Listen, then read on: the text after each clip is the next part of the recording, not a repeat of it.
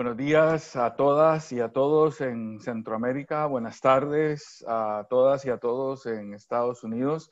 Mi nombre es José Miguel Cruz, soy el director de investigaciones del Centro Kimberly Green para Estudios Latinoamericanos y del Caribe de la Universidad Internacional de la Florida.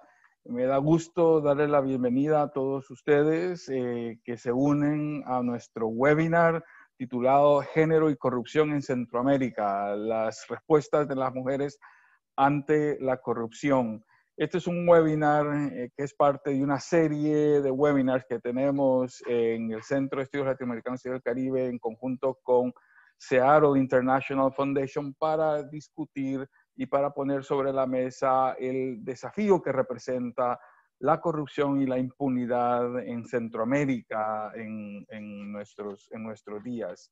Tengo eh, el honor, me complace presentar el panel de este día eh, con, un, eh, con una alineación de lujo, quienes van a estar discutiendo precisamente el tema de, como dije anteriormente, género y corrupción en Centroamérica. Este webinar es, como, como, dije, es, es, el resultado de un esfuerzo de varias instituciones que además está siendo apoyado por la Fundación, por la Fundación FOR y sobre el programa sobre gobernanza y seguridad de América Latina de la Universidad Internacional de la Florida. Me complace entonces presentar a nuestras, a nuestras panelistas eh, en orden alfabético. Eh, tenemos a Jennifer Alejandra Ávila, Ávila Reyes, quien es periodista hondureña con muchos años de experiencia cubriendo temas de derechos humanos, corrupción, extractivismo, migración y violencia de género. Es cofundadora y editora del medio digital Contracorriente y ganadora del LASA Media Award 2020. Eh, eh, tenemos también eh, el placer de tener a Ana María Calderón Boy. Ella es abogada peruana, es ex representante especial del secretario general de la OEA y vocera interina de la Misión contra la Impunidad y la Corrupción en Honduras, MASI. Es ex fiscal superior del Ministerio Público del Perú, magíster en Derecho Constitucional y candidata al doctorado en Derecho por la Universidad Nacional Mayor de San Marcos. Tenemos también a Alejandra Gutiérrez Valdizán, periodista y editora guatemalteca, enfocada en temas sociales, género, de justicia y de derechos humanos, eh, ambientales, con experiencia en periodismo de investigación. Es cofundadora y directora del medio digital Agencia Ocote. Eh, y Mirte Postema, eh, quien va a moderar el panel, ella es eh, coordinadora de proyectos de Seattle International Foundation que están relacionados con la, eh, con la lucha contra la corrupción.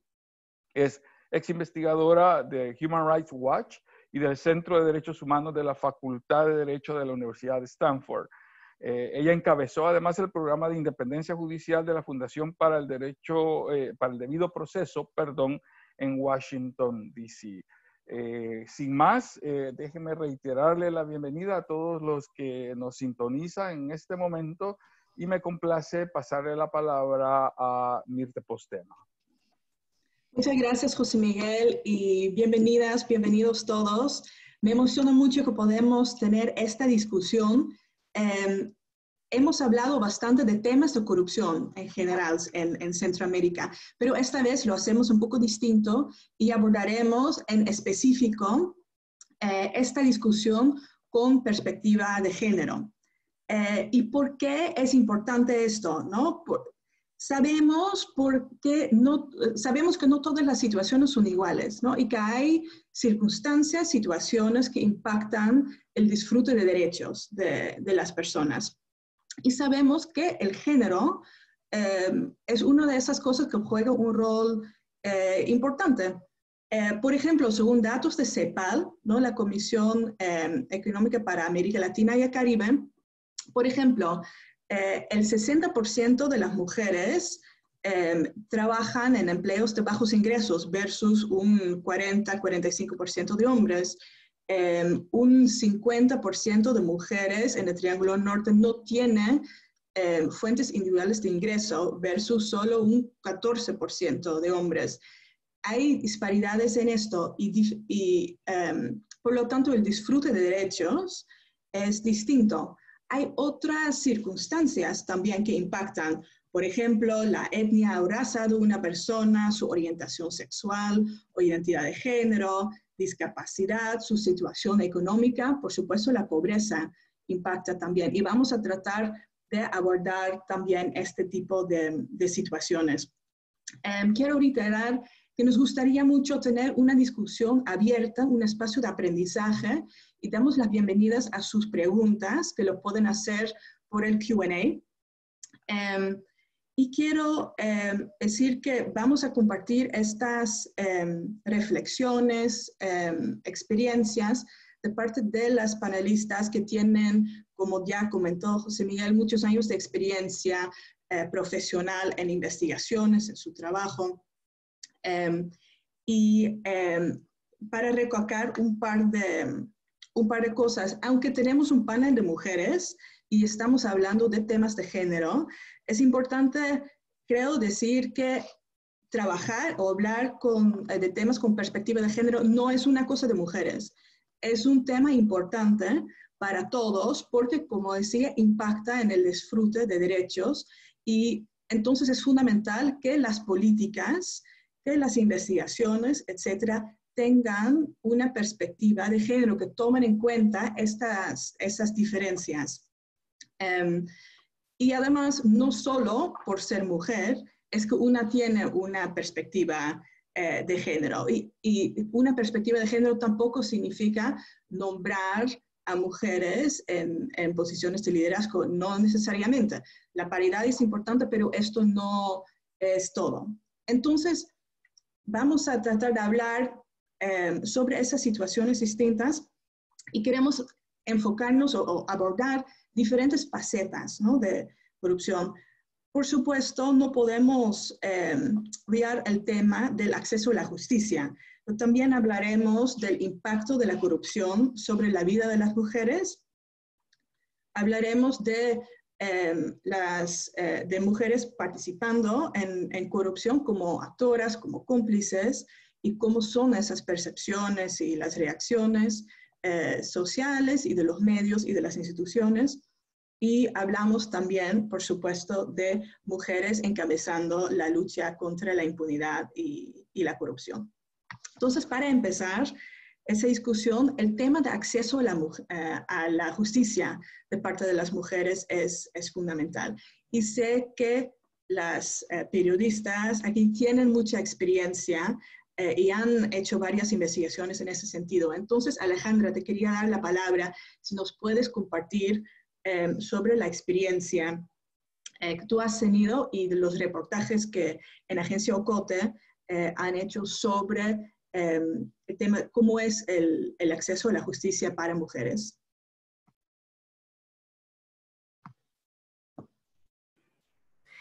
Muchas gracias, Mirte. Eh, pues gracias por la, invitación. Una gran responsabilidad hablar de este tema que en verdad sí creo que es poco abordado desde esa mirada, ¿no? Desde ese ángulo. Y yo partiría desde lo que tú planteabas en un inicio como esta desigualdad de los ingresos y esa desigualdad eh, de acceso a, a, cantidad de, de, digamos, de protección social y eh, partiría de plantear nuestra región, nuestros espacios, eh, como un espacio de desigualdad permanente y estructural.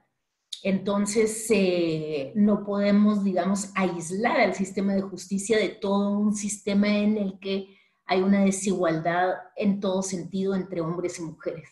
Entonces, empezaría, digamos, planteando en el panorama la justicia social como es el goce de los, de los derechos de, de todas las personas, ¿no? El derecho a la vida, el derecho a la salud, el derecho a la educación. Y desde ahí hay esos desequilibrios en el que las mujeres tienen mucho menos, mucho menos eh, oportunidades. Y las mujeres indígenas, en el caso de Guatemala, son las últimas del, de este, de este eslabón de, desigualdad, ¿no? Un sistema construido para, eh, en, el que, en el que poco considera, digamos, a las mujeres y poco hace para, para, para, equilibrar ese acceso a los derechos. Hay avances, por supuesto, hay muchísimas organizaciones trabajando arduamente para que, para que pueda haber ese equilibrio, pero partimos de eso, de ese desequilibrio social. Y luego en el, el acceso a, la justicia por parte de las mujeres, pues definitivamente también, digamos, se enfrentan a ese desequilibrio desde, digamos, desde el momento en que son eh, víctimas recurrentes de otro tipo, por ejemplo, otro tipo de violencias a las que los hombres nos enfrentan, que es el de la, el de la violencia eh, machista, que por el hecho de ser mujeres Em, sufren, sufren otro tipo de violencias y ahí vamos directamente a hablar, por ejemplo, del, del femicidio que hasta hace muy pocos años fue tipificado en, en nuestros países, y que todavía probablemente Jennifer nos puede explicar un poco más del, del caso de, de, Honduras, pero digamos que, que hay, un, hay, hay, digamos, delitos a los que las mujeres son víctimas específicamente y que tiene poco, poco acceso. En Guatemala mueren diariamente por muerte violenta, o sea, son asesinadas siete mujeres al día.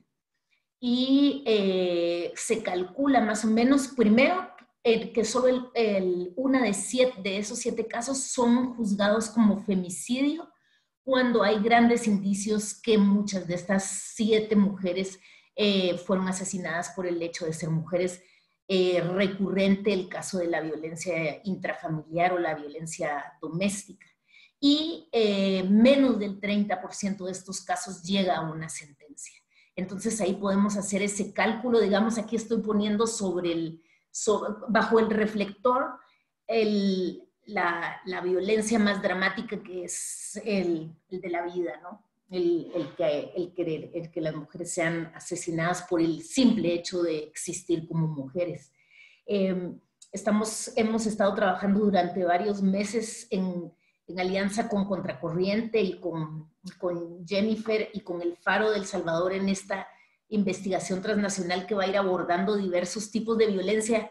Interesante también que tú mencionaras este tema que poco se habla en, en, en, Centroamérica, que es el de la violencia económica y que de muchas maneras, digamos, va, va obstruyendo estos procesos porque las mujeres tienen mucho menos acceso a la propiedad, a la propiedad de las tierras y también sufren esta violencia al ser, digamos, en, en algunos casos despojadas de sus derechos a la, a la propiedad o a, la, o a recibir los, los salarios. Eh, los salarios justos o a recibir directamente salarios, ¿no? Que es el gran tema del, del trabajo doméstico, por ejemplo, o el trabajo de los cuidados.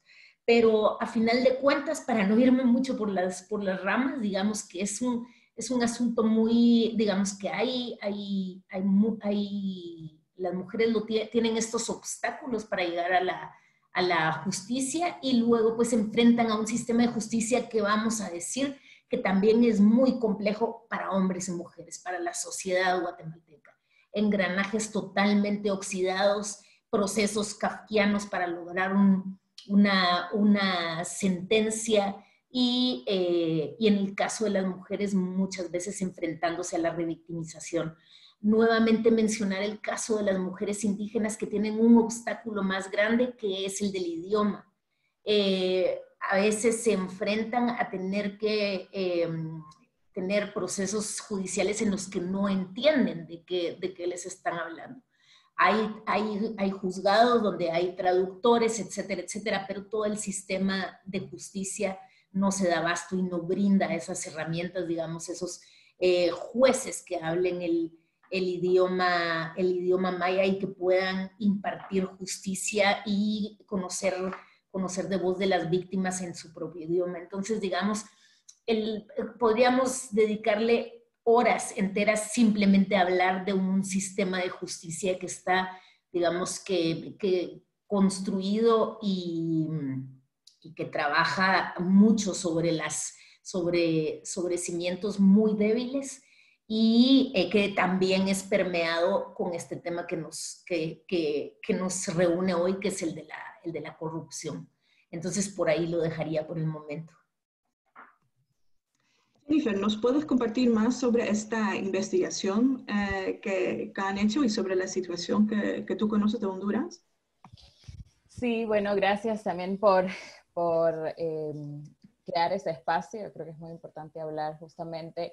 En Honduras entró en vigencia un nuevo código penal que fue muy controversial, que aún todavía hay muchas denuncias eh, de inconstitucionalidad, hay muchas protestas de la ciudadanía, hay, restan un poco pocos días para ver si se puede hacer algo para revertir esta entrada en vigencia del código penal pero fue controversial por varias cosas, digamos, por tres básicamente. Una, porque reduce las, las penas por delitos de corrupción, este, gradúa las penas por delitos de, narcotráfico y reduce las penas por delitos eh, por violencia contra las mujeres. Entonces, eh, reduce las penas específicamente en el caso de femicidio, alrededor de 10 años menos, este, y esto obviamente fue un duro golpe para lo que las mujeres han logrado en, Honduras. O sea, el, hecho de tener tipificado el femicidio desde 2013 es, una, es producto de una larga lucha de las organizaciones de mujeres y feministas en el país. Entonces, ver este retroceso también es un golpe muy duro en un momento en el que aproximadamente mueren 23 eh, mujeres, perdón, muere una mujer cada 23 tres horas en el país, ¿no? Asesinada. Entonces, eh, pero bueno, aparte de esto, ¿no? de, de, esta, este golpe con, con, la reducción de penas en el, en el caso de femicidio, lo que hemos visto por muchos años es un sistema de justicia al que no tienen acceso las mujeres. Y, eh, por ejemplo, en esta investigación, justamente con Ocote, eh, recopilamos los últimos 10 años en denuncias por femicidio, cuántos casos fueron a la corte, cuántos casos fueron sentenciados. Y desde 2013 que fue tipificado el delito, solamente 23 casos de femicidio consiguieron una sentencia. Cuando en Honduras hay altas tasas de eh, homicidio de mujeres o de muerte violenta donde una mujer es la víctima. Por ejemplo, este, hasta 2017 eh, perdón, desde 2008 hasta 2019, el Ministerio Público contabilizó 7.041 denuncias por asesinato, infanticidio, parricidio y homicidio, donde la víctima es una mujer. Eh, la mayoría de esos casos no fueron judicializados. Además, en el tema de violencia sexual, las mujeres cada vez más están denunciando eh, los casos de hostigamiento sexual, violación, este, diferentes delitos, que son como cinco delitos que entran en, esa categoría según la legislación hondureña. Pero lo que vemos es que este, menos de la mitad llegan a una instancia de investigación y la mitad de eso llega a ser un caso en la corte, ¿no? O sea que no tienen sentencias. Muchas mujeres, y según el reporteo que nosotros hemos hecho por, en todos estos años, muchas mujeres desisten de las denuncias por un maltratamiento, por la revictimización que hay en el sistema de justicia, que las mujeres tengan que contar una y otra vez la misma historia y que además sean puestas en dudas por, la, por las instituciones que deben protegerlas.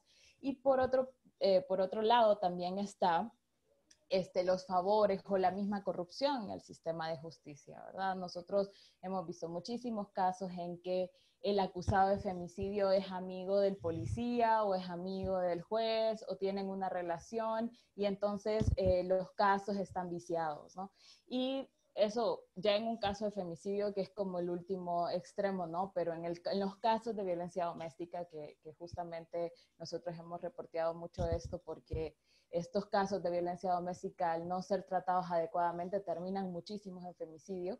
Lo que pasa en, en los casos de violencia doméstica es que las mujeres denuncian ante la policía, esa es la primera instancia donde van, y normalmente la policía, este se deja llevar o, se deja llevar por la versión del hombre o el hombre también paga eh, alguna coima a los policías para no recibir la denuncia o en muchos casos, la mayoría es que hay totalmente una inoperancia por parte de esta institución y tiene que ver con muchas cosas que son estructurales, ¿verdad? Lo que ya mencionaba Alejandra, que es un sistema diseñado desde el machismo al que no han tenido acceso las mujeres por muchísimos años.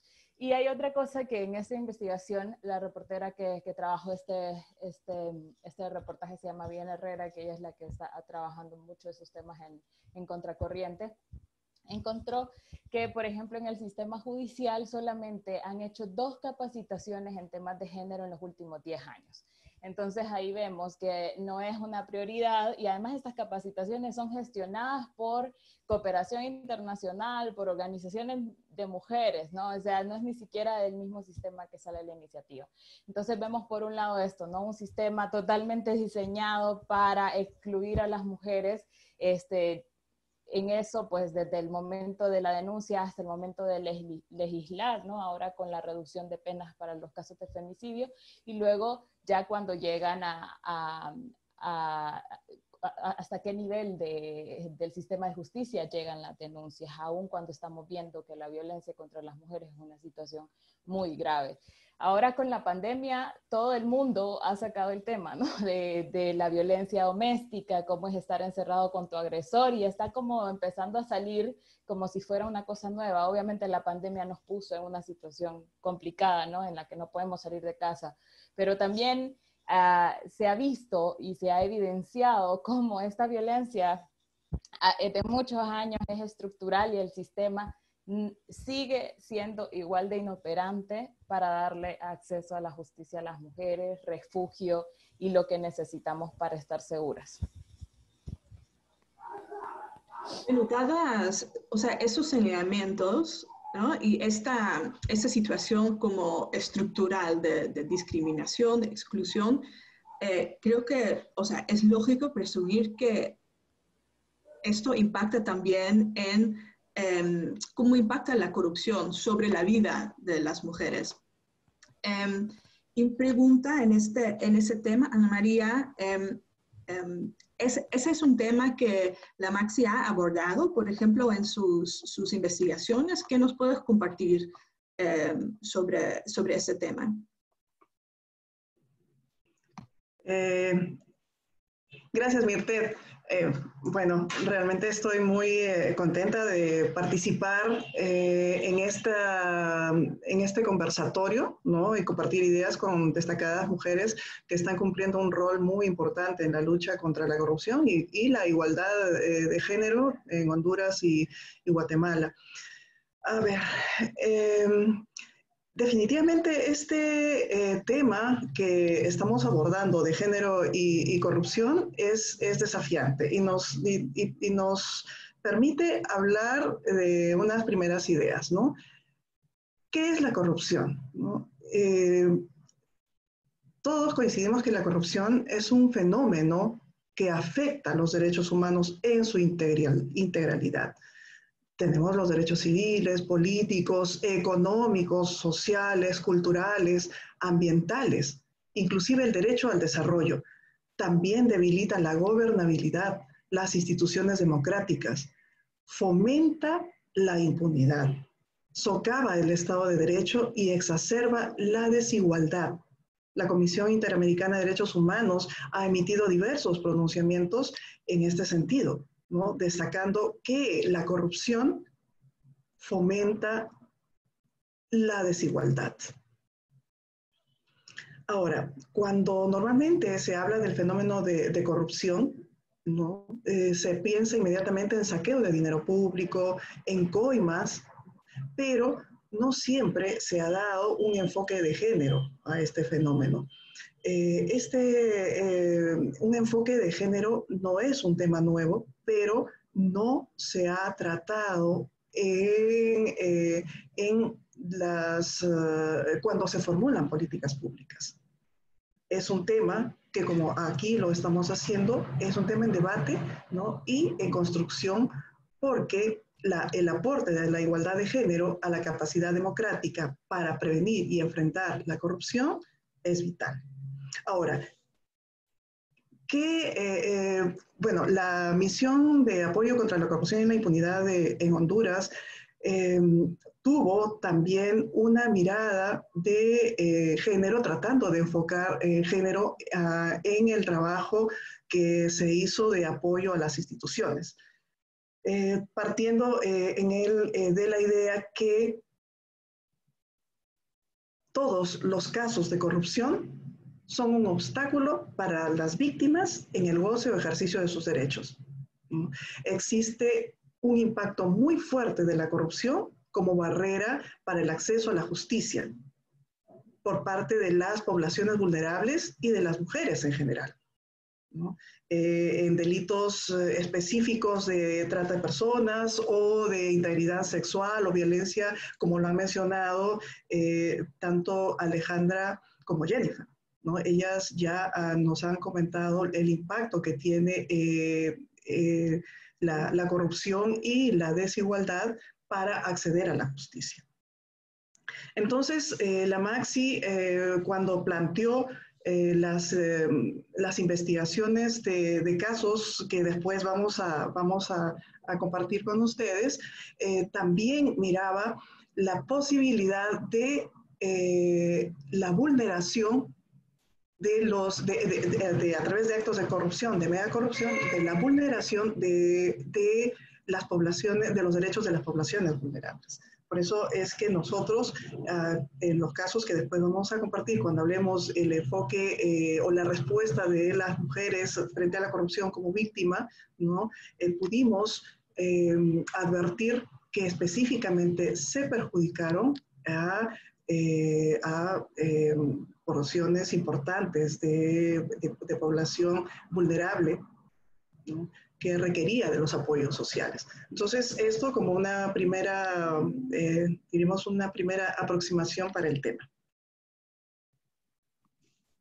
Eh, Alejandra, me, imagino que este tipo de, investigaciones em, y este tipo de, em, de reportajes em, también lo han hecho en, en Ocoto. ¿Nos puedes compartir más sobre, sobre qué es lo que han encontrado, sobre cómo impacta la corrupción sobre la vida de las mujeres?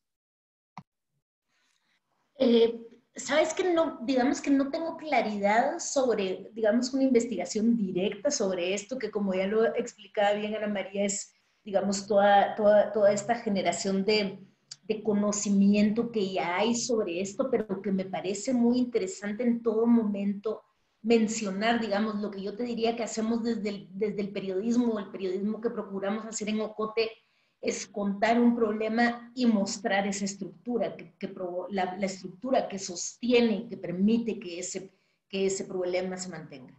Entonces, por decirte un tema que, que abordamos, eh, digamos, reiteradamente o, que, o con constancia, que es el del, el del acoso sexual, no pretendemos presentar la anécdota de un acosador y sus víctimas. Queremos explicar que hay toda una estructura que permite que permite que se mantenga este, digamos, este, este espacio de acoso y, este, y, que, y que los acosadores puedan accionar. En el mismo sentido, eh, pretendemos explicar cómo es ese sistema, ¿no? Y, ya lo, y, creo que lo, que lo dijo perfectamente, nos lo ilustró muy bien Ana María al contarnos toda esa lógica de, de, cómo permea la corrupción todo, o más bien cómo socava, más que permear creo que es lo contrario, sino que succiona eh, toda la solidez que debería de tener el Estado, estados muy débiles en nuestra región y que los va debilitando aún más. Y nuevamente podemos señalar así como este, este gran contexto de la pandemia en que nos venimos a encontrar como un sistema de salud absolutamente incapaz de atender a la pandemia atender a las víctimas de la pandemia. Si ya estaba totalmente en, en una situación terrible para atender a, a, a, la ciudadanía, con una, con una crisis de este tipo totalmente se derrumba el sistema. Y eso, digamos, lo que yo creo que es como la, uno de los grandes retos como periodistas es poder explicar ese, ese enlace directo entre la corrupción y por qué estamos como estamos. Básicamente ese por qué estamos como estamos. La narrativa de los medios ha sido un poco como, esos son los malos, los políticos son los corruptos, y permanentemente señalando así como que si fuera ciudad gótica, los malos, los buenos o las víctimas que son los ciudadanos y los malos están ahí actuando, pero no esa relación directa entre eh, estos malos te están robando directamente a ti, estos malos nos están matando directamente al socavar el sistema de, el, sistema de salud. Entonces yo creo que el gran reto para, para, para los periodistas y las periodistas es explicar esas lógicas, ¿no? Porque muchas veces se cuenta la narrativa de la, se, se cuentan los casos de corrupción, sí, como, como, como unos thrillers, ¿no? Unos thrillers, de, porque hasta resultan sumamente atractivos eh, en términos narrativos, ¿no? Eh, con todas estas estrategias y estos asuntos que, que a veces parecen sí que, que, que la, la, realidad supera la ficción. Pero eh, el punto es entender, creo que ese es el gran reto, que la ciudadanía comprenda que eh, estos actos de, de corrupción eh, terminan afectando absolutamente todo, ¿verdad? Entonces, creo que por ahí me quedaría por el momento. Y Jennifer, en Honduras hubo varios casos eh, así, ¿no? Bastante sonados de, de, corrupción en el sistema de salud, por ejemplo. Sí, sí, justamente eh, cuando se destapó el desfalco del Instituto Hondureño de Seguridad Social, que yo creo que marcó un antes y un después en la lucha anticorrupción en Honduras, sobre todo porque por las protestas, por el descubrimiento de este desfalco, llegó la MASI, ¿no? Este, sí, muchas organizaciones empezaron a recopilar cuál había sido el impacto y lo que sí hubo en ese momento fue muchas denuncias de mujeres que fueron afectadas porque, por ejemplo, el instituto, una de las um, del, saqueo ocurrió en el régimen de maternidad, ¿no? Entonces muchas mujeres no recibieron eh, su, su, seguro por maternidad. Eh, además, bueno, y a mí me tocó incluso ser mamá eh, cuando el seguro estaba recién saqueado y fue espantoso, o sea, es decir, no había nada, todas las mujeres teníamos que comprar hasta el bisturí con el que nos iban a hacer la cesárea, o sea, una cosa impresionante. Eh, las salas de maternidad habían quedado sin aire acondicionado porque no había dinero para repararlos, porque todo el dinero había sido saqueado, no había ningún medicamento analgésico, o sea, nos ponían la mitad de la dosis sin decirnos y todas las mujeres en dolor, ¿no? O sea, ese tipo de cosas que además la viví como mujer. Este, sucedieron, o sea, sucedieron hasta hace poco que se ve un poco más recuperado el seguro social, ¿no? Después de, después de cinco años. Eh, pero por lo menos de 2014 a 2017 el Seguro Social estaba en una situación deplorable que estaba afectando a todo el mundo, pero sí obviamente a las mujeres en ese aspecto. Por otro lado, eh, los casos de corrupción por, eh, venta de medicamentos adulterados, también hubo denuncias de mujeres que eh, enfermaron, e incluso algunas que se complicaron en sus enfermedades por utilizar medicamentos eh, para la salud sexual. Este, que estaban adulterados. Eh, esto después se hizo muy famoso porque se hablaba de pastillas de harina, ¿no? Y la gente decía que había sido óvulos de harina, pastillas de harina, que no era específicamente eso, pero que sí los medicamentos adulterados, vencidos o algunos que eran solo placebo, obviamente afectaron directamente la, vida de las mujeres y fue de, de, donde más salieron denuncias. Nosotros en el, en el caso, y bueno, y obviamente cuando se, se ataca o, se roba de, del sistema de salud, siempre los más vulnerables son los que tienen la, se llevan la peor parte. Y aquí estamos hablando de las mujeres en el tema de salud sexual y reproductiva específicamente, pero también las personas eh, LGTBI, la, las personas de la población LGTBI, que de entrada ya son discriminadas en el sistema de salud porque no son reconocidas en ciudad, identidad de género y son eh, maltratadas, también es ahí donde se recorta en el tema de atención a VIH, atención a salud sexual y reproductiva, etcétera, ¿no? Luego, eh, como periodistas, obviamente también hemos visto muchos casos en los que las mujeres este, son parte de la corrupción, pero también afectan directamente a las mujeres. Y por ejemplo, en el 2018, si no me, no, fue en el 2019, sacamos una investigación en la que se estaba involucrando a la primera dama con unas fundaciones que se crearon en 2004, 2005, justamente para ayudar a las mujeres. O sea, se llaman Fundación este, del desarrollo de la mujer, ¿verdad? Por ejemplo, varias fundaciones así que han recibido muchísimo dinero, estamos hablando de 116 millones de dólares, ha recibido una solo en tres años, otra ha recibido 12 millones de dólares de una secretaría que también ha sufrido eh, desfalco, ¿verdad? La Secretaría de Desarrollo e Inclusión Social. Y estos programas o estas fundaciones que se crean este, para ayudar a las mujeres, luego sirven para saquear los fondos y las mujeres a, las que debería llegar ese beneficio no llegan, ¿no? Y hemos visto mucho en este gobierno cómo se ha utilizado la imagen de la mujer como beneficiaria de los programas sociales, que al final son programas sociales utilizados también para desfalcar al Estado. Hay muchísimos casos así.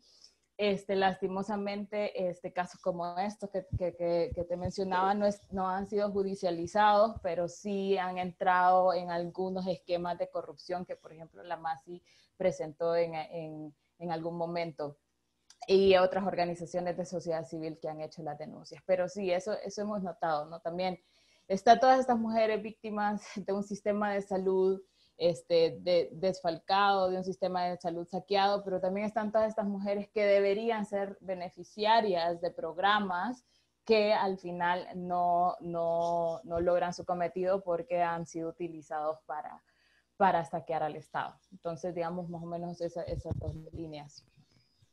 Gracias, Jennifer. Creo que ahí tocas un punto también importante y es que obviamente también ha habido varios casos de mujeres Em, participando en actos de corrupción, ¿no? sea como actoras principales o como, eh, como cómplices.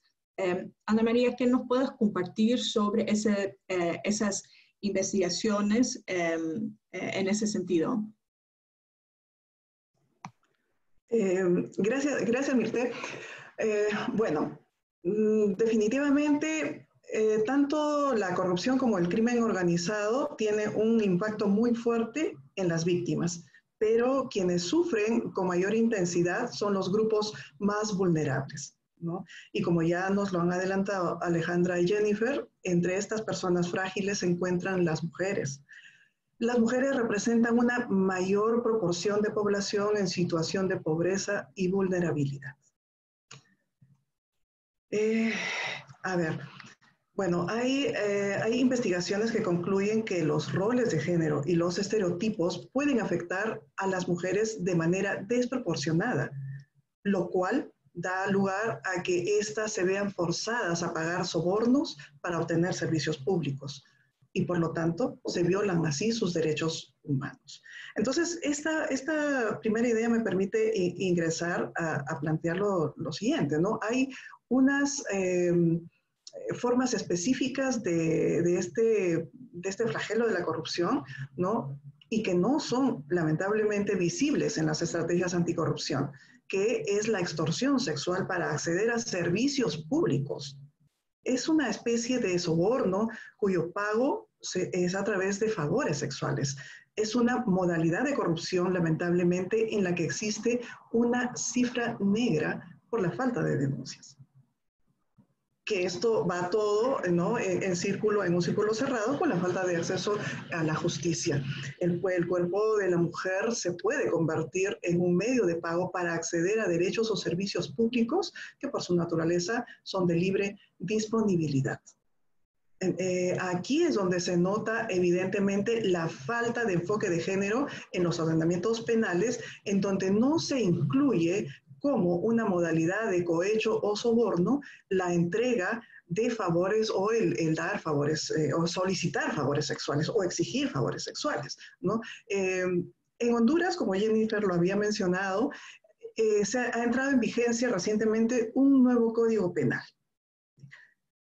En este código penal eh, se han planteado diversas modalidades del delito de corrupción, eh, hay un delito de cohecho en donde se menciona que se comete este delito cuando se solicita una dádiva, favor, promesa o retribución de cualquier clase.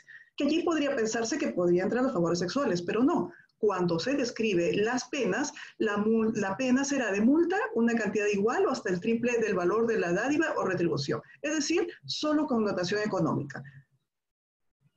Entonces, ¿qué es lo que va, eh, qué es lo que observé en este Código Penal, el nuevo Código Penal? Que se ha incluido un nuevo delito de solicitud de actos de contenido sexual cometidos por funcionarios públicos, lo cual parecería un adelanto. Sin embargo, la pena es de uno a dos años. Y si se trata de agentes penitenciarios, es de dos a cuatro años. Imagínense, esto simplemente lo convierte en un delito de bagatela y que el perjuicio que recibiría una mujer por denunciar estos hechos es peor, por la revictimización a la cual es sometida y que ya Jennifer le comentó, ¿no? Que la revictimización de volver a ser interrogada con el riesgo de que no creen en ella y su versión. Y también como Jennifer ya lo, eh, ya lo adelantó, eh, y, y, en este punto es donde la Maxi tuvo, eh, diríamos, em, especial cuidado en desnudar fenómenos de corrupción que se aprovechaban de, la población, de las poblaciones vulnerables. Y esto eh, se evidenció que en el desvío de, o drenaje de fondos que están destinados a atender a los grupos vulnerables. ¿no? Se identificó en Honduras, la MAXI identificó casos de macro corrupción en los que se utilizaban fondos cuya finalidad era social. Uno de los casos más fuertes que, que eh, denunció la, la Maxi fue el caso Pandora. ¿Por qué? ¿Y por qué aquí pongo énfasis? En este caso, Pandora, se produjo un drenaje de fondos públicos que estaban destinados a proyectos agropecuarios, agroindustriales y hortícolas a favor de madres jóvenes de las zonas más pobres del país. Exclusivamente era para ellas, supuestamente. Pero estos dineros fueron destinados para financiar campañas políticas y otros gastos personales. Dos casos más también nos permitieron desnudar y poner en evidencia la utilización de fondos que estaban destinados para reducir la pobreza en Honduras, que fueron desviados para beneficios personales de altos funcionarios públicos. Estoy hablando de los casos Arca Abierta y corrupción sobre ruedas. Definitivamente eh, esta, esta, esta, situación que ha sido evidenciada no solamente por la misión, sino también por las, las diversas organizaciones sociales que, que eh, denuncian eh, desvío de fondos, como Jennifer lo acaba de, de mencionar, de fondos públicos para beneficios políticos o personales, es un impedimento para lograr la igualdad de género, para obtener el empoderamiento femenino. ¿no?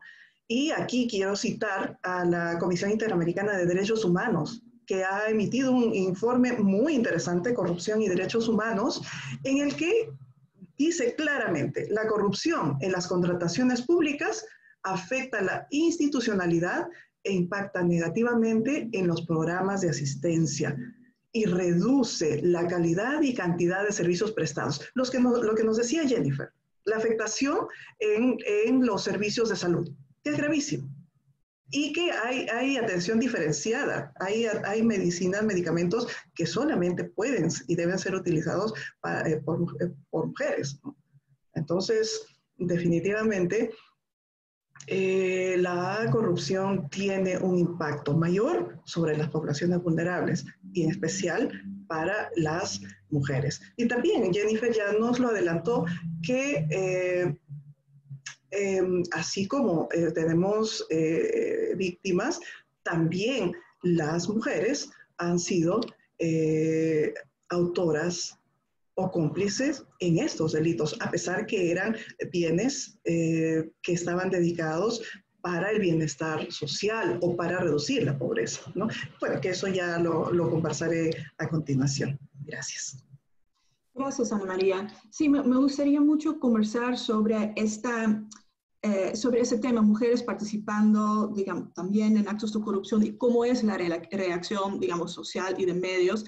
Pero me parece muy importante y quiero detenerme un poco en este punto, lo que acabas de, de abordar, y creo que esto subraya la importancia de trabajar con un enfoque de género, que todos trabajen con un enfoque de género, cuando la verdad Em, eh, esta situación en pedir favores sexuales, por ejemplo, por actos em, de corrupción que no es reconocido, digamos, ah, o no se, no se ha hablado mucho, como, como uno de los fenómenos que también estamos viendo en, en casos eh, de corrupción, realmente no tan eh, abordados. Y, y, quería invitar también a Alejandra y a Jennifer compartir algunas reflexiones sobre, sobre eso porque me parece un punto muy, muy importante. Sí, gracias. Eh, me adelanté, Jennifer, perdón. Em, y, ya, veo que en, el, que, en, el, que en el chat están lanzando algunas, algunas eh, preguntas en ese, en ese mismo sentido. Yo partiría de un, de un tema que a veces resulta siendo incómodo y que es, eh, que digamos que a veces se tiende a ver a, o a enfocar o a tener solo esa mirada en las mujeres como víctimas o víctimas del sistema, que, que, que no vamos a negarlo, venimos desde hace media hora hablando sobre ese tema. Pero luego hay otro asunto que es el de las mujeres, digamos, el tema de la agencia, que es esa capacidad que tenemos los seres humanos para tomar decisiones, digamos, por, por ponerlo de una manera muy eh, resumida y es la, la, agencia de las mujeres para tomar decisiones sobre sus actos. en ese sentido sí que me parece como importante resaltarlo, por supuesto, digamos, en estos casos de corrupción hay, no hay blancos y negros, ¿no? Hay, hay, hay una, una, serie de tonalidades en las que, en las que, podemos, en las que podemos transitar.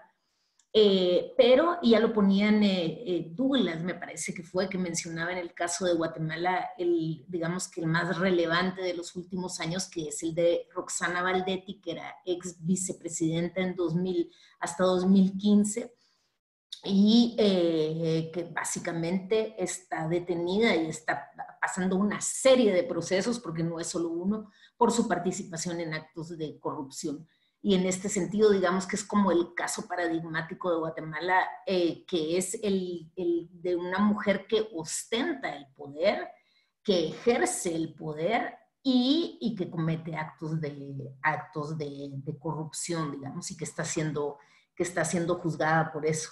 Eh, en una charla previa, cuando, cuando, conversa, cuando el lunes conversábamos para preparar un poco esta sesión, Ana María lanzaba una provocación que era se dice que las mujeres son más honestas que los hombres. Y entonces, eh, eh, digamos que es otro, otro, otro tema que nos llevaría muchas horas de charla, pero yo creo que, digamos que tendríamos que partir de ese de la participación política de las mujeres y de la, de la posibilidad de que las mujeres participen políticamente, que accedan a puestos de poder, que sucede nuevamente en todos lados, en las empresas, en los puestos políticos, etcétera, etcétera hay un, hay un techo de cristal para, para las mujeres y el liderazgo en, en, la política y en los puestos públicos.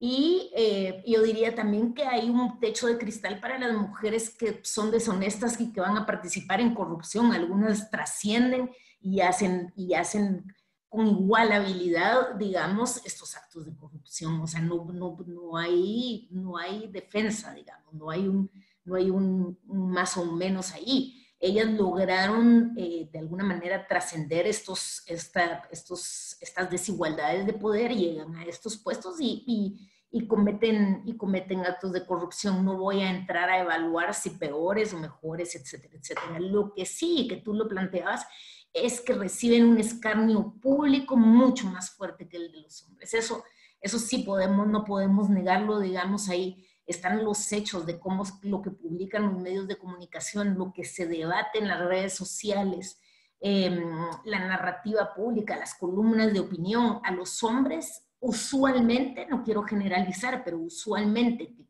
que cometen actos de corrupción, directamente se les critica por ese acto, por ese delito. A las mujeres, por supuesto que se les, se les critica y se les juzga por ese delito, pero luego viene un abanico de agresiones directamente a su dignidad, llamaría yo, em, relacionadas con su vida íntima, con su vida sexual, con su cuerpo, con, con, por, por nuevamente volvemos a porque son mujeres. Entonces, digamos que ahí, ahí sí podría decir yo, no puedo, no puedo evaluar si sobre el tema de, la, de los mayores grados de honestidad o no, pero sí puedo afirmar el tema primero este de la agencia y luego el que sí, eh, yo, yo, me atrevo a afirmar que hay, un, que hay una mayor condena social a las mujeres y que luego también está el clásico, ven por qué no les damos oportunidad de llegar a puestos de poder, porque miren lo que viene a hacer Roxana Valdez. Y ese es, digamos que ha sido como el gran referente. Otro, Sandra Torres, eh, ex de Colón, eh, ex primera dama que también enfrenta, enfrenta juicio político y que ha sido muy, em, digamos, también muy atacada desde, desde que era primera, primera dama. Y sí, como reiterar ese tema de la, de la agencia, hace, hace ya varios años yo hice un, una investigación bastante, digamos que me tomó bastante tiempo, que era sobre las mujeres en el crimen organizado. Y entonces pude hablar con muchas mujeres que habían estado eh, en el narcotráfico, que estuvieron con los Zetas, em, digamos, en, diferentes eslabones de poder. La mayoría hasta el final del eslabón, hay que decirlo, digamos, en el caso del, del narcotráfico es muy complejo llegar a esos es digamos que el techo de cristal está más bajo, yo asumo que por, por, las lógicas de violencia también, pero una de ellas que a mí me quedó muy grabada, me decía, ella era, ella, ella se encargaba de transportar producto y de transportar armas y me decía, a mí me encantaba, o sea, me encantaba ir en la carretera con un pick cargado de armas porque me sentía poderosa. Entonces, digamos que, que, tampoco, o sea, no se trata de esconder y decir, ay, sí, todas, o sea, de santificar. Me parece que es importante en ese sentido, pero luego también me parece muy importante resaltar que sí, esta, estas desigualdades de poder también afectan a muchas mujeres que resultan siendo los últimos eslabones. El, el caso como más recurrente es el de las que prestan nombres, ¿no? Prestan nombres que están cubriendo los actos de corrupción, de, del patrón, del marido, de, usualmente son esos los casos de algún familiar, del papá, y que ellas están prestando un nombre. Del caso más, eh, para no extenderme mucho, porque podríamos también estar bastante tiempo mencionando estos casos, pero un, un caso que me parece bien relevante es el de Alba Lorenzana de González, que es eh, esposa de Ángel González, em, el dueño de, de, Albavisión y dueño de, una, de un consorcio de medios de comunicación que cubren toda Latinoamérica. Em, ella eh, aparece en los registros públicos, en el registro mercantil aquí en Guatemala, como eh, dueña de los canales de televisión. Y entonces, digamos que se, se enlazó todo este un entramado de, de, de corrupción, de, de, financiamiento electoral ilícito, y quien está, eh, quien tiene orden de captura es Alba Lorenzana, cuando nunca, digamos, no hay registro de que ella haya participado de alguna manera en las empresas de, de su esposo y mucho menos en estos actos. Entonces, digamos que, que, y que, y que de eso hay, o la cantidad de secretarias que dieron su nombre porque tenían miedo de perder el trabajo, fueron eh, presionadas y pues están ahí. Em, entonces, digamos que hay estos dos, estas, estas dos vías. Una que sí es la, la, la, la posibilidad de que las mujeres em, pues cometan actos de corrupción, pero luego que sí el mismo sistema también provoca que haya mujeres que que había una, una pregunta interesante que decía, eh, que dice Mariana sobre que si se juzga, digamos, cuando ha habido casos de, su, de subordinación, me parece que supra o subordinación. Eh, y me parece, es que ahorita con la prisa ya no, no alcanzo a leer también, partícipe de esos delitos, pero digamos, si, si logro entender la pregunta es si hay como en estos juicios una especie de atenuante en el que se probara que hay, digamos que presión o violencias eh, de que, hayan sufrido las mujeres para participar en estos actos. Y yo diría que hasta el momento, no, no, yo por lo menos no conozco un caso en Guatemala que haya habido un tipo de debate respecto a que, a que el que la mujer sufriera algún tipo de presión o violencia para participar en estos actos le sirva de atenuante ante los jueces. Sí, entonces, como ven, estamos viendo las preguntas que, que hacen y muchas gracias por hacerlas y, vamos a tratar de abordar algunos durante esta, esa charla y, em, después también en el Q&A. Em, algunas preguntas también, Iván, Jennifer, por supuesto, sobre uno de los casos también muy sonados, la de la ex primera dama, eh, en Honduras también. Y te quería preguntar si nos podías comentar un poco sobre esto. Y en una pregunta, em, también una observación acertada, quizás eh, decía que sí, el caso fue en contra de ella, pero los hombres siguen, siguen libres. si nos puedes compartir tus reflexiones sobre esto. Bueno, sí, en este caso y también en los casos de las mujeres acusadas en el Seguro Social, sí se nota eh, una, una, diferencia en los tres niveles, ¿no? Uno en cómo las trata el sistema de justicia, otro cómo las trata, las trata el, los medios de comunicación y la sociedad y otros cómo las trata la estructura misma a la que pertenecen. Un poco Alejandra ya abordó muchísimo ese tema. O sea, dentro de las estructuras criminales, aunque las mujeres tengan agencia, aunque las mujeres eh, quieran escalar en, dentro de esas mismas estructuras, siempre son eh, relegadas a, cierto puesto y cuando toca pagar, o sea, normalmente las mujeres también se llevan la, mejor, la peor parte. Yo quiero comenzar con lo del Seguro Social y luego ir con lo de la primera dama. O sea, en el Seguro Social hay 10 mujeres acusadas en, en, diferentes líneas de investigación de todos los delitos que sucedieron ahí para desfalcar el Seguro Social. Pero de esas, solamente dos podría decirse que eran líderes. Una que estaba en la Junta Directiva del Seguro Social y otra que era eh, empresaria, ¿no? Luego las otras ocho que sí eran eh, digamos que tenían sus empresas o tenían propiedades, eran madres, hermanas o esposas de los que llamó, de los que los medios llamaron los cerebros de la, de la corrupción, del desfalco al seguro social. Es decir, ellas nunca fueron, este, mm, fueron tomadas en cuenta como el cerebro de la operación, sino como incluso utilizadas como tal. Luego, estas mujeres fueron presentadas en los medios de comunicación, o sea, semanas enteras, todos los días, como la examante del, del director del Seguro Social, como la palillona o bastonera, porque había salido en un desfile de un 15 de septiembre cuando era menor de edad, o sea, de hecho era una cosa muy despectiva, este, con fotografías de ellas cuando eran muy jóvenes, que una era bailarina exótica, etcétera. Todo eso era lo más importante de la trama del rol del seguro social, de quién era el amante, quién era la, la, la, esposa, este, que, que, había tenido un hijo, etcétera, todo ese, ese, tipo de cosas. Las mujeres están presas, en efecto, este, y en algunos casos, creo que en tres casos, sus esposos están prófugos. Entonces también ahí se nota, ¿no? Como no hubo una protección por parte de la estructura criminal igual a las mujeres que a los hombres, ¿no? Hay más hombres prófugos que mujeres de las acusadas. Y luego está todo el escarnio público que con lo que decía Alejandra, ¿verdad? La, la, sociedad espera que las mujeres seamos buenas, maternales, honestas, ¿no? Que, o sea, lo que más se destaca en estas sociedades en Centroamérica es la madrecita, ¿no? El Día de la Madre es el día sagrado, este, y eso se espera de las mujeres, ¿no? Eh, cuando una mujer rompe esa regla, el, o sea, todos los insultos y todo la, el, el, juicio social sobre ella es mucho, mucho más grande. Ya se, es como que ya se espera que el hombre sea malo, ¿no? O vivo como se le dice aquí en Honduras a una persona que realmente es malvada para, para robar, se le dice, este es vivo, este, a las mujeres no se les permite y en el caso del Seguro Social yo creo que se, se notó mucho, casi, o sea, casi el 50% de las propiedades estaban a nombre de las mujeres que eran esposas, madres o hermanas de, eh, de los funcionarios del Seguro Social que hicieron todo esto, ¿no?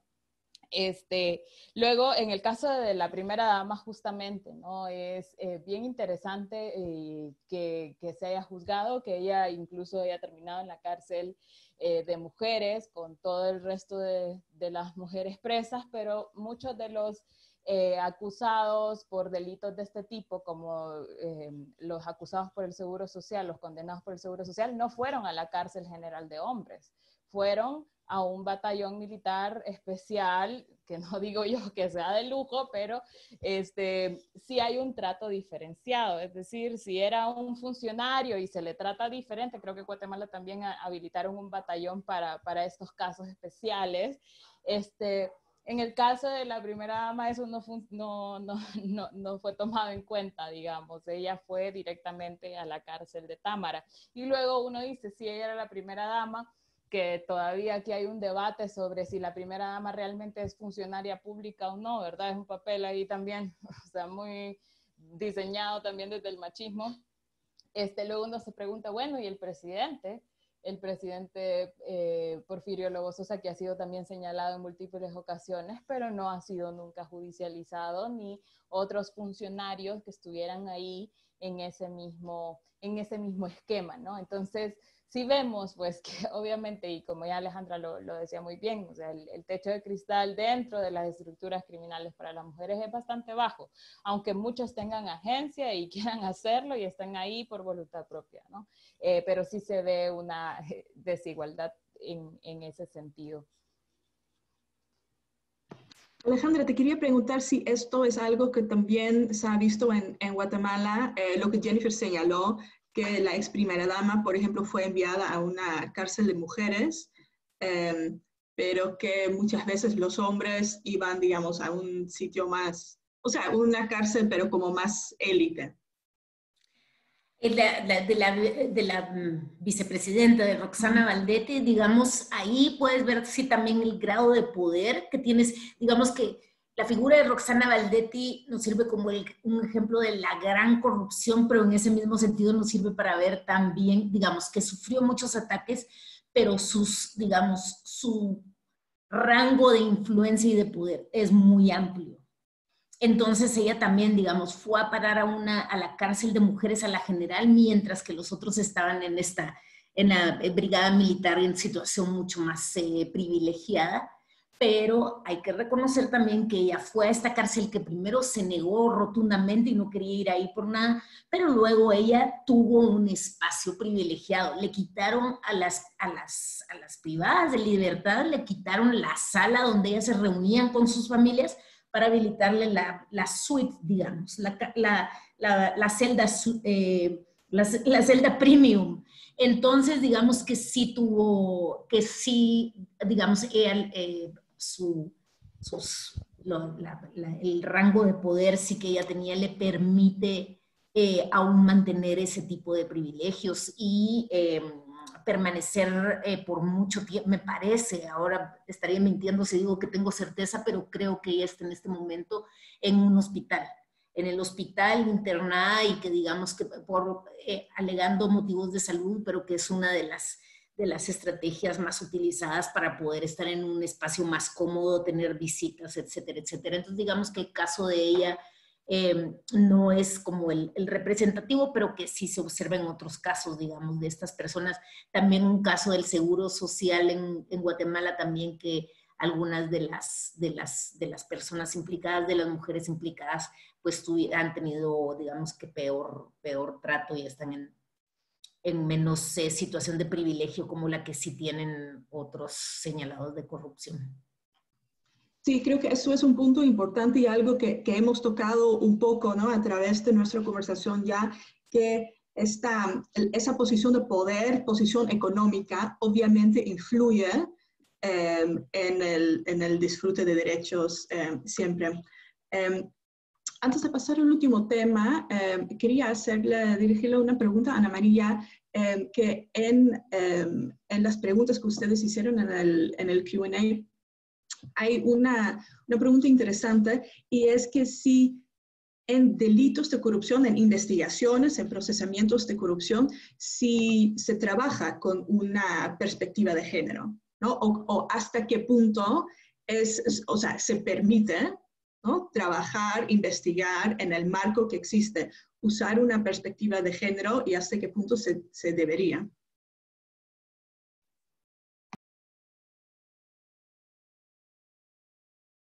A ver, eh, eh, sí, gracias Mirta. justamente estaba viendo las, preguntas, todas muy interesantes, ¿no? Las preguntas que eh, generan, esto significa que el, tema genera interés. Uh, el enfoque de género es importante para el disfrute de derechos. Definitivamente, eso es la, primera conclusión que nosotros eh, eh, podemos ir ya adelantando. Eh, ahora, ¿es posible em, enfocar o abordar las investigaciones ya por delitos con enfoque de género? Eh, yo, como, como, abogada y como, bueno, como es fiscal, eh, diría que en las investigaciones y en la aplicación de la justicia tiene que ser de manera igualitaria. Eh, o sea, no podemos darle un abordaje diferente donde, durante la investigación en sede fiscal, ni tampoco en el juzgamiento, puesto que la justicia se debe aplicar con igualdad. ¿no?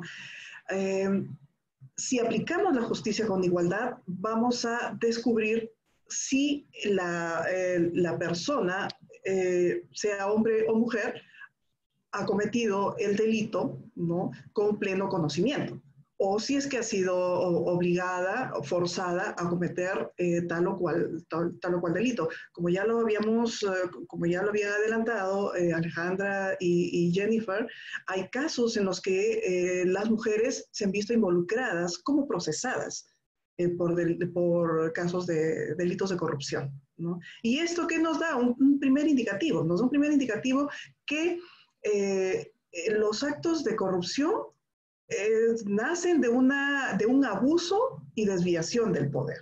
Entonces, las mujeres que de algún modo están vinculadas al poder debido a que ellas o sus parejas tienen un cargo público, también se han convertido en autoras de delitos de corrupción. Y eso responde un poco a, la pregunta que eh, eh, iniciaba eh, el chat de, preguntas, el QA. allí dice, ¿qué es lo que está pasando? ¿Por qué las mujeres también están cometiendo delitos de corrupción? Simplemente aquí nos va guiando a que el enfoque de género no significa generar estereotipos de que las mujeres son más honestas o menos corruptas que los varones, porque ese es un estereotipo. Eh, eh, va mucho más allá del enfoque de género. ¿no? Eh, si, una mujer, como en el caso que, que ya nos adelantó Jennifer, una mujer maneja poder, sí es posible que se vea involucrada en actos de corrupción.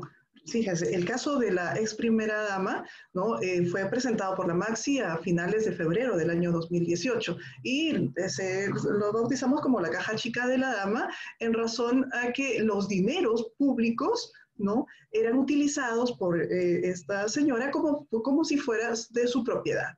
Esta, eh, esta fuera una ex primera dama que en su condición de esposa de un presidente de la República administraba dineros del Estado. O sea, directamente ella tenía el poder sobre esos fondos públicos, ¿no? Y drenó, los drenó estos dineros, a pesar que eh, sabía que estaban destinados para obras públicas, en sus gastos personales. ¿No? Eh, dicho sea de paso, este caso fue muy interesante, muy importante para la Maxi porque es, con este caso se estrenó el circuito anticorrupción en Honduras. Jueces y fiscales anticorrupción ¿no? que trabajaban eh, un, un caso. Eh, ¿Qué es lo que pude observar allí? Jennifer ya lo había adelantado y esa es la perspectiva, creo, de, de, la, de, la, prensa que, que, es muy interesante que tengamos en cuenta, ¿no? Eh, ¿qué, es lo que yo observé? El día que, bueno, la Maxi cumplió eh, conjuntamente con el Ministerio Público en, presentar el caso ante el juez y, el juez dicta la orden de, era una jueza, la jueza eh, dicta una orden de, de detención contra esta señora y la presentaron en público. Y la verdad, fíjense, yo eh, siempre lo he manifestado, a mí me impresionó ver a la, señora, a una mujer, ¿no? Con grilletes en las manos y en los pies. Yo dije, ¿qué es lo que está pasando, no? Eso era, eh, a mí me pareció un exceso porque ni, eh, ni antes ni después he visto que hayan tratado así a procesados por corrupción. Eh, eh, en, Honduras, en, en, otros países no lo sé, pero al menos ahí en Honduras no había visto eso. Entonces, creo que em, no, no deberíamos hablar de enfoque de género para juzgar a las personas, porque la justicia debe ser igual para todos pero sí enfoque de género, de género para las políticas públicas, para eh, generar paridad e igualdad entre todos, ¿no? O sea, si eh, eh, a una mujer se la va a procesar, debe ser en igualdad de condiciones que a los varones, ni más ni menos. ¿No? Y bueno, respecto al megafraude, eso sí ya nos lo adelantó eh, Jennifer y es un, es un caso que definitivamente no hay nada más que, que agregar en, cuanto a, a, lo que significó el trato a las, a las mujeres. ¿no? También quería preguntar a, Jennifer y a Alejandra si, si, querían compartir sus reflexiones sobre esta, esa pregunta, ¿no? ¿Hasta qué punto se debería tomar en cuenta em, estas como condiciones de desigualdad, por ejemplo, em, eh, en la investigación de juzgamientos, eh, según ustedes? Jennifer. Yo casi no entiendo la pregunta. Eh, había una pregunta en el, en el Q&A si, si, o sea, la importancia de, tener un enfoque de género, ¿no? Le hemos conversado si en investigaciones de corrupción, ¿no? ¿Consideras que, que habría que tener una perspectiva de género? Sí.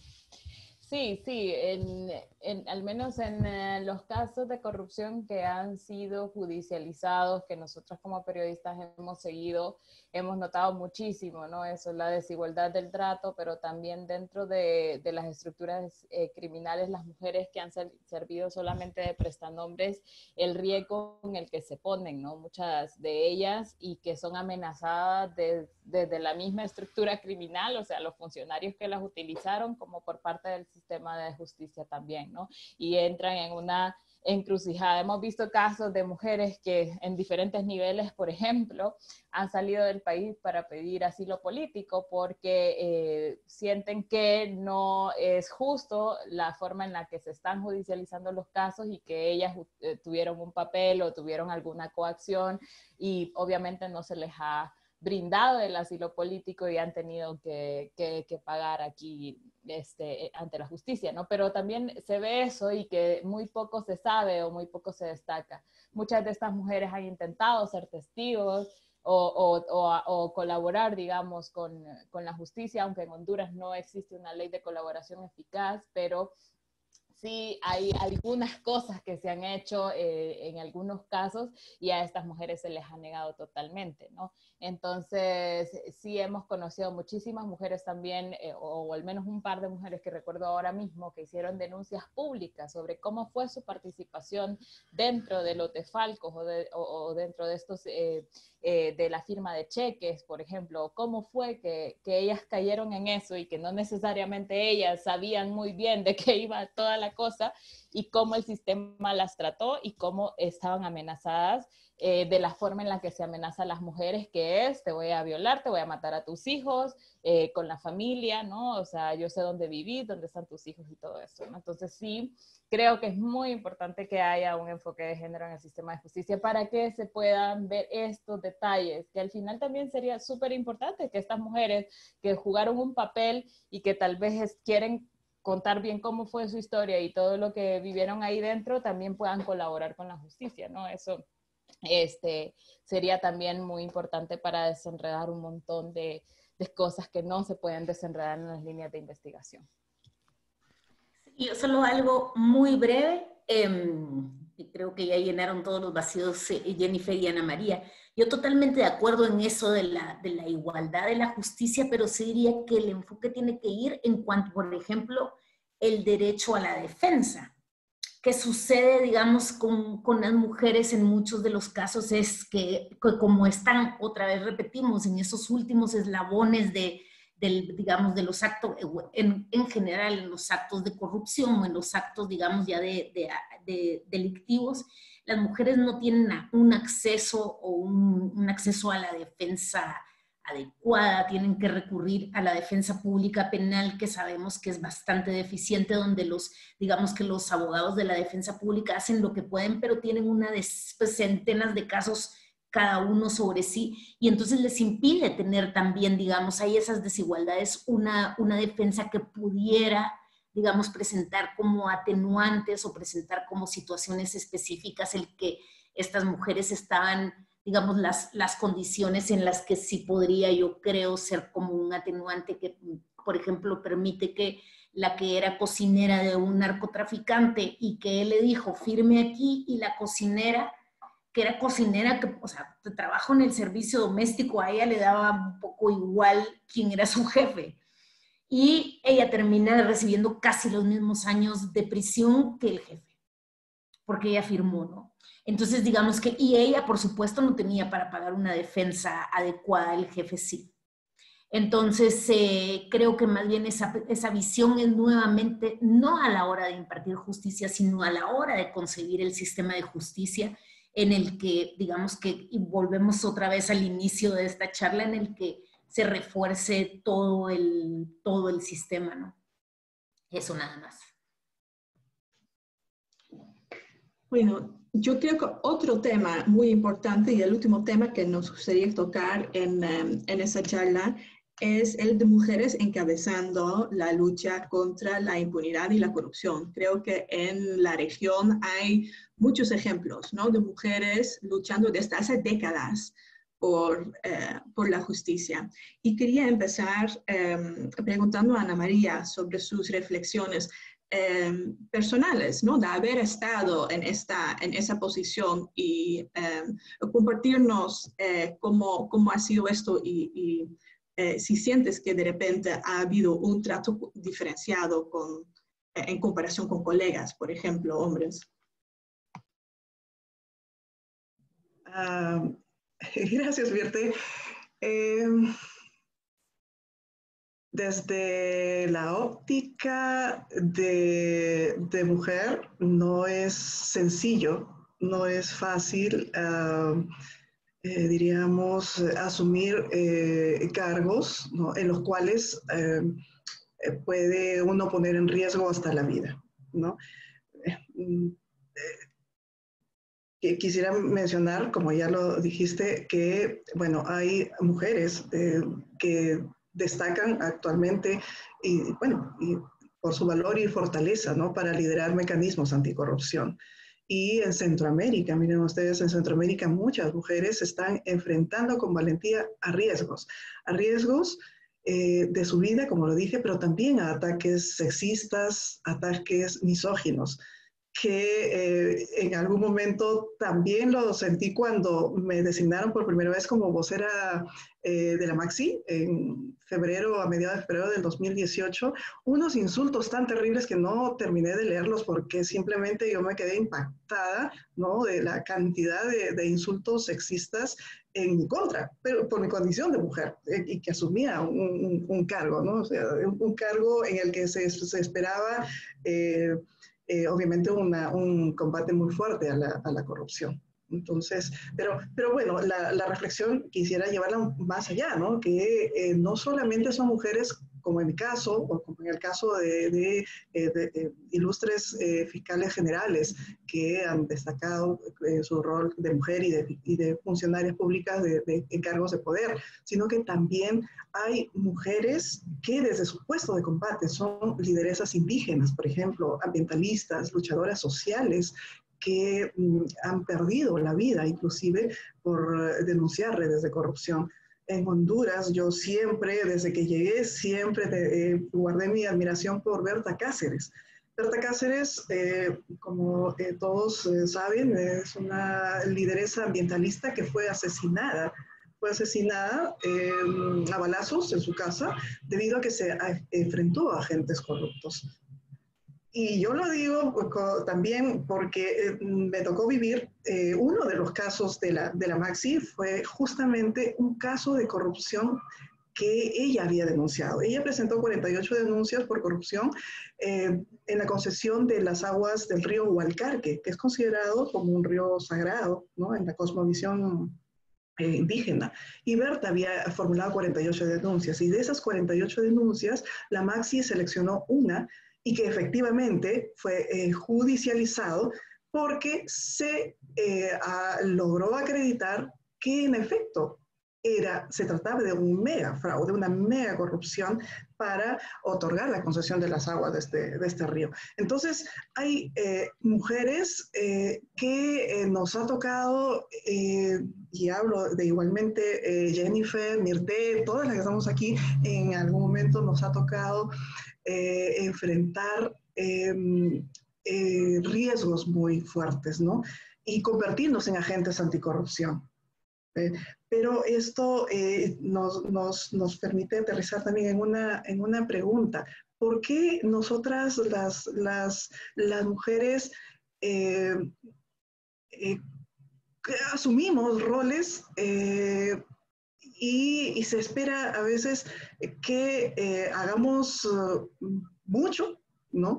Y sin embargo, las facilidades que se dan a una mujer en un entorno, eh, diríamos, hostil, es, es mucho más difícil. Será pues porque tenemos un estereotipo que se piensa que las mujeres tenemos que ser siempre eh, buenas y aguantar todo. Eh, eh, ¿Será que se, se considera que los hombres son corruptos o no? Bueno, definitivamente esta, estas preguntas han venido haciéndose, yo creo que en diversos, en diversos eventos, ¿no? Eh, ¿qué, es lo que, ¿Qué es lo que sucede? O sea, eh, hay estereotipos, sí, eh, hay estereotipos, definitivamente.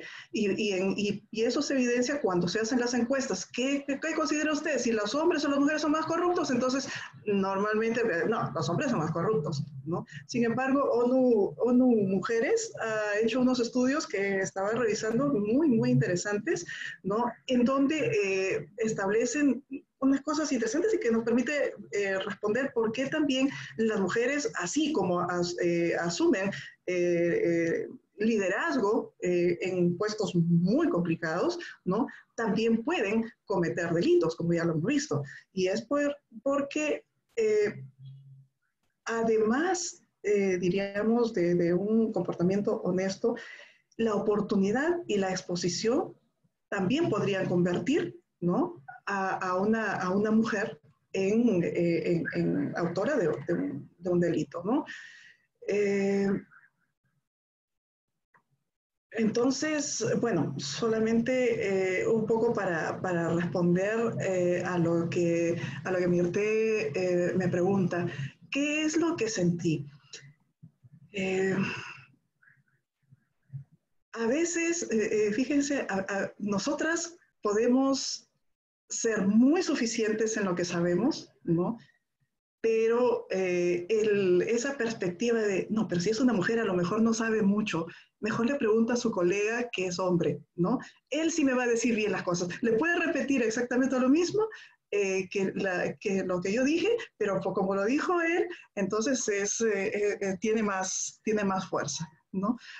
Pero yo creo que adicionalmente a esto, eh, la, esa, la, fortaleza no nos hace retroceder, la fortaleza que eh, eh, quizás ya hay la explicación biológica es que las mujeres biológicamente tenemos la capacidad o, los niveles de, de, tolerancia al dolor más altos que los varones por el tema de que biológicamente estamos preparadas para, para ser madres, ¿no? Entonces quizás eso nos ayuda a tolerar un poco más los...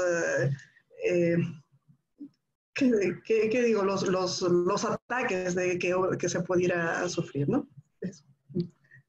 Creo que con, esta, con ese comentario sobre este, cuando un hombre repite lo que dice una mujer, este, todo el mundo, que creo que ahí, viste, eh, todos como reconocíamos esta sensación.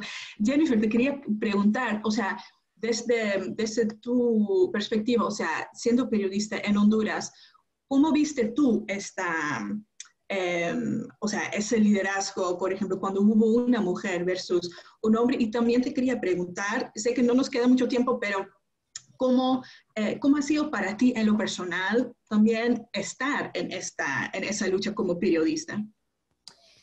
Sí, eh, bueno, eh, yo recuerdo en 2015 cuando fue todo el movimiento de indignados, eran mujeres jóvenes las que se exponían, o sea, mujeres y hombres, pero también eh, muchas mujeres jóvenes que estaban expuestas en medios de comunicación, hablando sobre esta situación, haciendo investigaciones también desde, desde, la Organización de Sociedad Civil.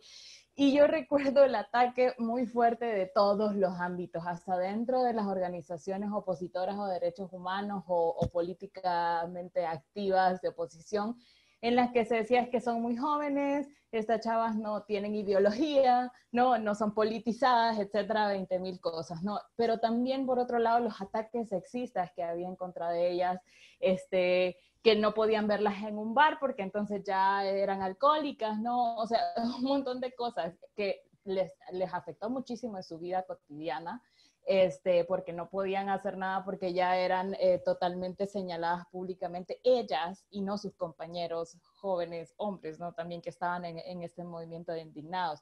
Eso fue como de las cosas que yo me tocó ver cuando estaba en, ese momento y que dije yo, pues que obviamente marcó una, una ruptura ahí en, el, en, en la historia sobre la lucha anticorrupción en Honduras. Y luego hemos visto muchísimo eh, de esto, ¿no? Eh, yo he conocido jóvenes de estas mujeres que se metieron a esto y que terminaron exiliadas porque nadie las protegió, porque las, las, amenazaban diciendo que iban a matar a sus hijos, a sus hijas, a sus, a sus padres, ¿no? Y también el cuestionamiento mismo de la familia de por qué te metiste en eso si tenés hijos, ¿no? Eso es como algo muy común que nosotras hemos escuchado bastante de las mujeres que han, y que muchas permanecen anónimas también, que han estado liderando investigaciones anticorrupción desde la, desde la sociedad civil. Luego, como periodista, este, déjame decirte que también es difícil, este, porque eh, a veces lo que, de lo que menos hablamos las periodistas es del acoso que sufrimos cuando estamos en temas así. Es muy, eh, es muy chocante que si estamos visitando un fiscal o tratando de llegar a lo más profundo de una investigación, un fiscal, este, por ejemplo, nos, nos acose sexualmente, porque eso también nos hace sentir de que nos va a dar la información si nosotras le damos algo más, ¿verdad? Y nos ha pasado este, a mí, a las reporteras de mi medio, que este, estamos haciendo preguntas duras, estamos tratando de llegar al fondo de un caso de corrupción y las fuentes, incluso las que podrían llamarse aliadas, nos acosan sexualmente, hablan de nuestro cuerpo, nos hacen comentarios sobre nuestro cuerpo y eso definitivamente es una carga muy fuerte que nos toca también lidiar como equipo eh, de mujeres periodistas que, que, que, que en mi medio somos las que trabajamos este tema y poder este, también como, como seguir adelante en las investigaciones después de todo eso que se, que se vive, ¿no? Y estoy hablando de acoso sexual en todos los ámbitos, ¿verdad? No hay ningún ámbito, ni aliados, ni fuentes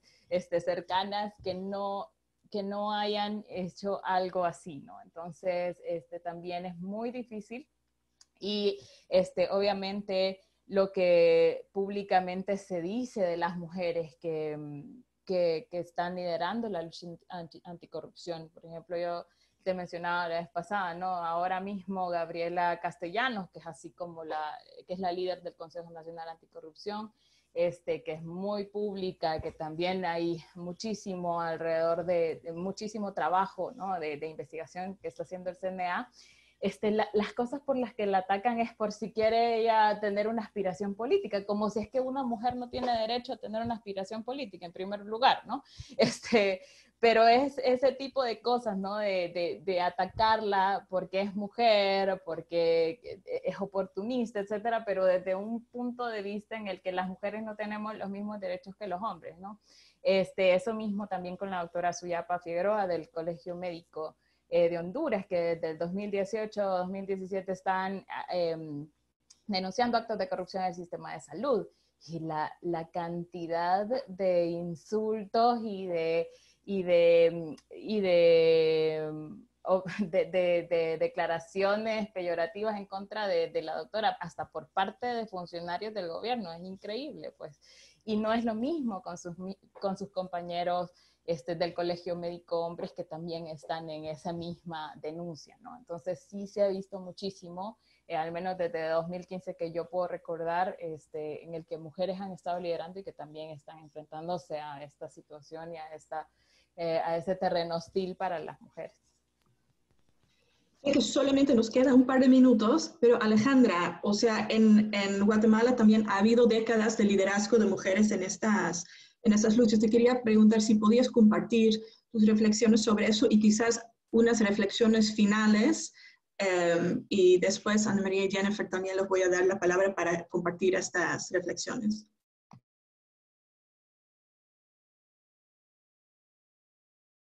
Estás en mute, Alejandra.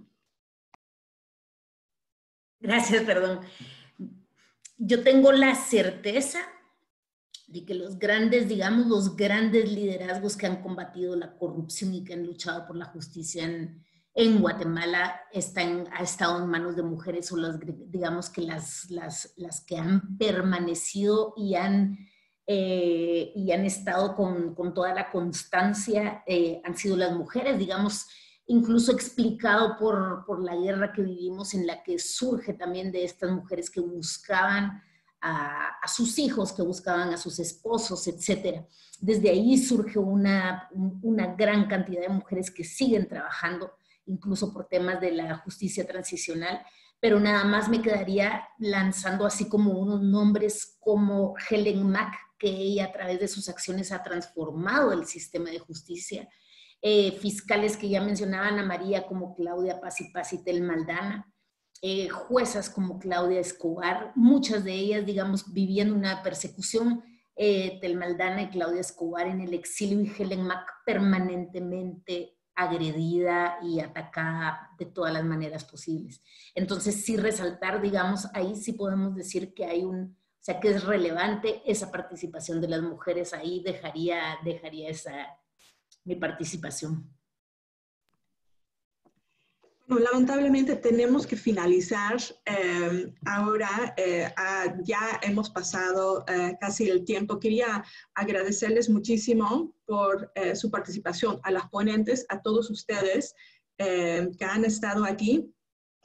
espero que hemos podido brindar un enfoque diferenciado, un enfoque distinto y, y haberles dejado con unas nuevas reflexiones y quizás más cosas en qué pensar. Eh, en cómo afecta eh, la corrupción a diferentes eh, personas en, situaciones distintas. Vamos a seguir trabajando en esos temas. Les invito también a que hagan una visita a los sitios web de Contracorriente y de Agencia Ocote. ahí encontrarán estas investigaciones que las colegas comentaron y de nuestra parte vamos a seguir haciendo este tipo de Em, de conversaciones y esperemos que nos acompañen en estas nuevas ocasiones también. Muchas gracias. Muchas gracias, un gusto. Gracias. Gracias. Gracias.